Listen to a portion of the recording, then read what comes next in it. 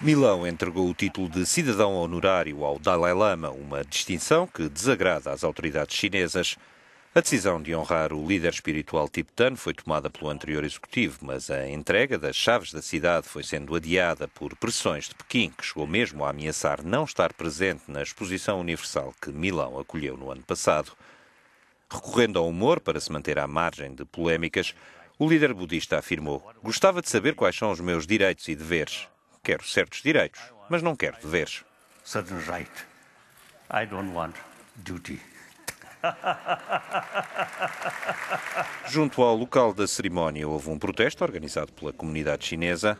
A embaixada da China afirmou que o caso feriu profundamente os sentimentos do povo chinês e avisou que terá um impacto negativo nas relações entre os dois países.